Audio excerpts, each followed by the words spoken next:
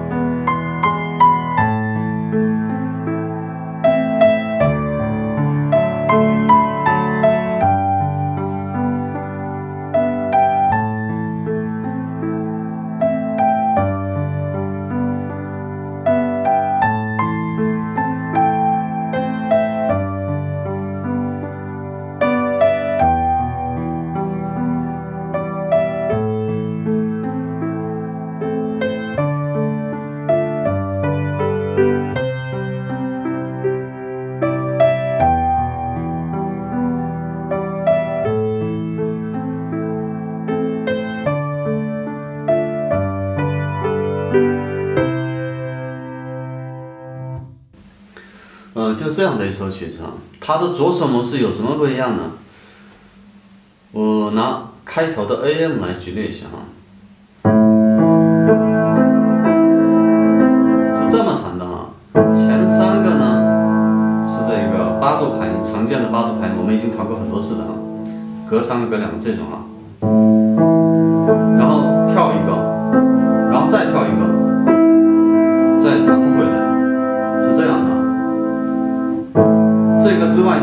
一个白键，再跳一个白键，然后再弹回来。然后它的节奏模式的话呢，是前四个都是半拍的，后两个是一拍的哈。一、二、三、四，一、二、三、四是这个样子哈。那 G 和弦的话，以此类推都是一样啊。是这样的啊，你看前个前三个这个。都是空三个空两个这种啊，八度拍音，然后跳一个白键，然后再跳一个白键，再弹回来，是这样啊。那 E M 的话也是这样。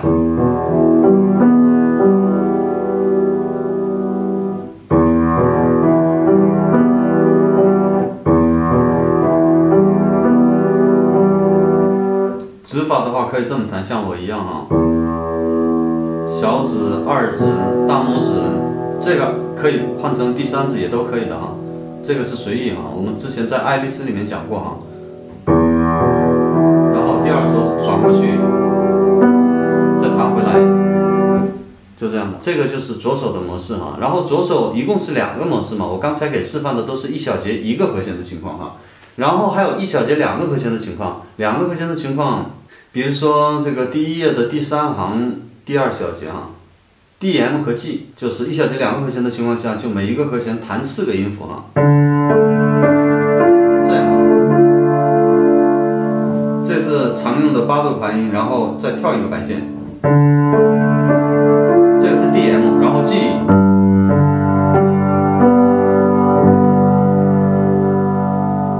那这种一小节两个和弦的情况下呢，要均速的弹调啊，一二三。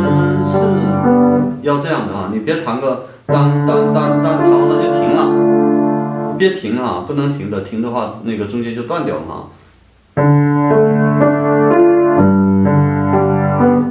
一二三，咪嗦啦，咪嗦嘞，咪嗦啦哆啦嗦哆咪嘞，嘞咪嗦。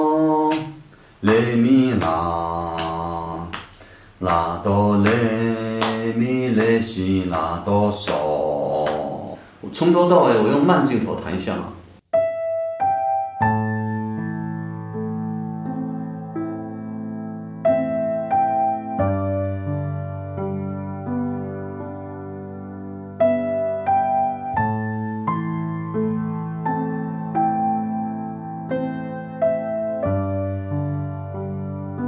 那上海滩呢就讲到这里啊，然后下一次的话呢，我们学月亮代表我的心。月亮代表我的心的话呢，左手模式跟这个是一样的啊，所以只要你练好这一首曲子，下一曲下一曲的那个月亮代表我的心学起来会容易的很多哈，因为那个模式都差不多。那这次呢就到这里哈。